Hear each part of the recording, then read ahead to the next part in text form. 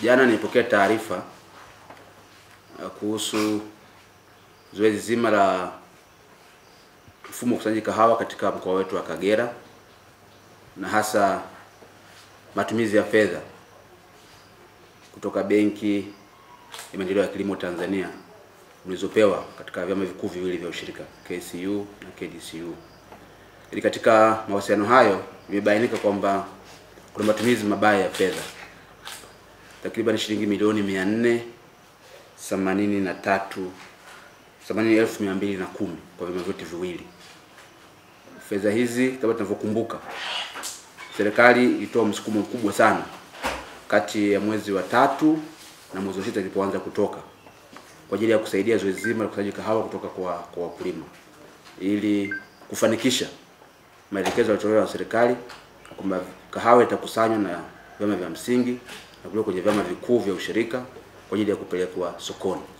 Serikali iliridhia kutoa malipo ya awali ya shilingi elfu moja kwa kilo, na vyama hivi vikuu viwili vilikopa fedha kutoka benki kwa ajili ya kufanya zoezi hilo, lakini tupata taarifa kwamba fedha zile hazikutumika kama ilivyokusudiwa. Baadhi ya fedha zile kama nilivyosema, shilingi milioni 483 milioni 483 zimetumika kwa matumizi mengine tofauti na ukusanyaji wa kahawa. Fedha hizo zimetumika kwa matumizi ya mishahara na matumizi mengine ikiwemo kulipa wazabuni, kinyume na mkataba na benki juu ya mkopo huo. Na kama unavyofahamu, fedha hizi zitalipwa na wakulima wadogo wadogo, na fedha hizi zinakopwa kwa riba. Kwa hiyo kama mkoa, uongozi wa mkoa haukubaliani na jinsi ambavyo mmekiuka matumizi ya fedha hizo.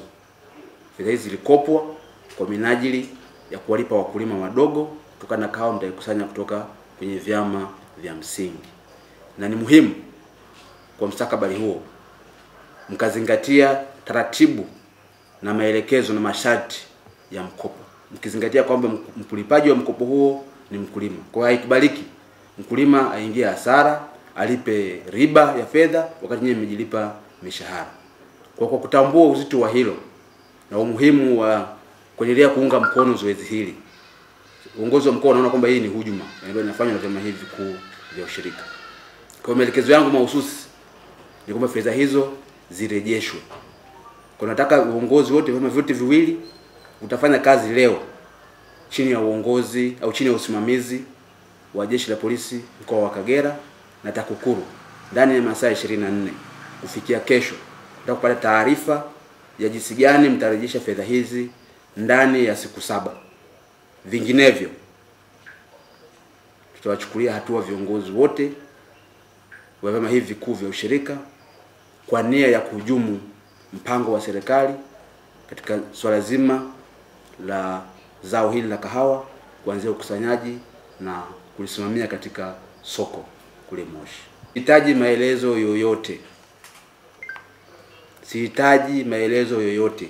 Nachohitaji mimi ni fedha shilingi milioni mia nne themanini na tatu shilingi milioni mia mbili na sita kwa KDCU na shilingi milioni mia mbili sabini na sita laki saba na themanini mia mbili na kumi kwa KCU.